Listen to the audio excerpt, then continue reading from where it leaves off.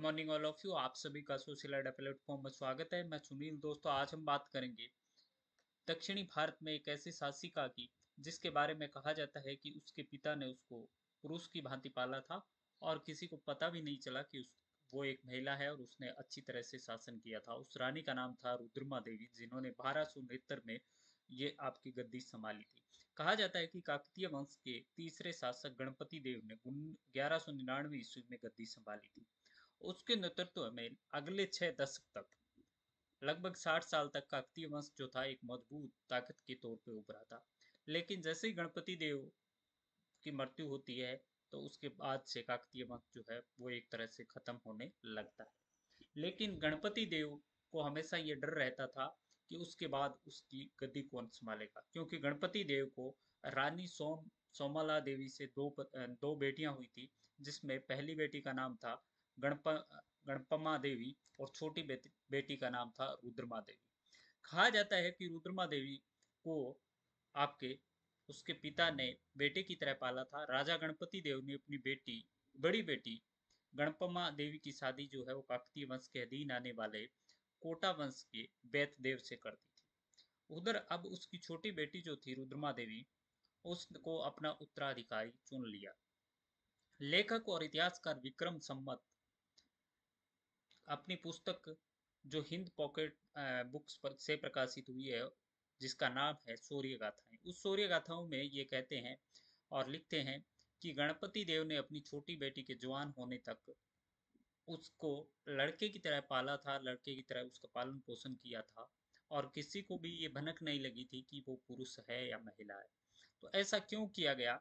क्योंकि देखिए कि गणपति जो जो काकतीय वंश का शासक था, उसके तमाम दुश्मन थे। ऐसा नहीं कि भारी दुश्मन थे, उसके सौतेले भाई थे और आपस में राजवंश के लिए उनकी ठनी रहती थी। आप भी जानते हैं कि जब राजाओं की आपस में क्या होती थी कि आपस में उनकी लड़ाइयाँ होती रहती थी, परिवार के लोग भी आपस में झगड़े करते रहते थे तो इसी चक्कर में फिर गणपति देव जो है, उसने ये नहीं बताया किसी को कि मेरे केवल दो बेटियाँ हैं बल्कि उसने रुद्रमा देवी को बेटे की तरह उसको ट्रीट किया और बेटे की तरह बताने की कोशिश की ताकि किसी को ये नहीं लगे कि उसके बाद उसका कोई उत्तराधिकारी नहीं है।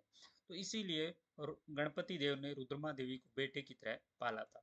जहाँ तक कहा जाता है कि बेटी जो रुद्रमा देवी थी, उसकी ट्रेनिंग पुरुषों की भांति हुई थी। समस्त जो ट्रेनिंग हुई थी, वो पुरुषों की भांति हुई थी। पुरुष परिधान वो पहनती थी और उसका नाम जो था रुद्रमा देवी का, बाद में जाके रुद्रदेव रखा था। हम जानते हैं कि काकतीय वंश के अंदर रुद्रदेव जो था, वो एक काफ़ी प्रभावशाली शासक उसको माना जाता है, जबकि एक्चुअल में वो एक रानी थी, जिसका नाम था रुद्रमा देवी। विक्रम संबत जो इतिहासकार है, वो लिखते हैं कि रुद्रमा देवी जो थी, वो पहली महारानी थी, जिसको महाराजा की उपाधि मिली थी। ऐसा क्यों? क्योंकि हम जानते हैं दोस्तों कि जब उसको उपाधि दी गई थी तो एज ए पुरुष के रूप में उसको उपाधि दी गई थी। किसी को ये पता नहीं था कि ये रुद्रमा देवी है सारे के सारे उसको रुद्रदेव के नाम से जानते हैं। अब होता क्या है कि 1240 ईस्वी के आसपास उसकी शादी जो है, वो एक राजकुमार से कर दी जाती है, जिसका नाम था वीरभद्र। वीरभद्र से उसकी शादी होती है और गणपति देव के ज़िंदा रहते ही बारह ईस्वी में रुद्रमा को प्रशासक बना दिया जाता है। तीन साल बाद बारह में खुद गद्दी से हट गए और बेटी को स्वतंत्र प्रभार बारह में सौंप दिया। बारह तक गणपति देव के निधन के बाद रुद्रमा देवी ने पूरी तरह से गद्दी संभाल ली और रुद्रमा देवी रुद्रदेव के रूप में वहाँ पे गद्दी पे विराजमान थी इसमें इतिहासकार संपत के साथ साथ एक अन्य इतिहासकार जिस मार्कोपोला मार्कोपोला या मार्कोपोलो जिसको कहा जाता है, जो एक आपका कह सकते हैं कि भारत के अंदर आने वाला एक यात्री था जिसने, उसने भी आपकी रुद्रमा देवी का ज़िक्र किया है, उसने कहा है कि रानी रुद्रमा देवी का ज़िक्र वेनिस के मशहूर व्यापारी और ट्रेवलर मार्को पोला भी करते हैं। मार्को पोलो कहते हैं कि बारह सौ बारह के बीच सिलक रूट पर यात्रा के दौरान मार्को पोला ने भारत के दक्षिणी राज्यों से गुजरे थे। जहाँ पे उस, उनकी रानी रुद्रमा देवी से भेंट हुई थी मार्कोपोलो लिखते हैं कि यहाँ एक रानी का राज है और जो बेहद समझदार महिला है।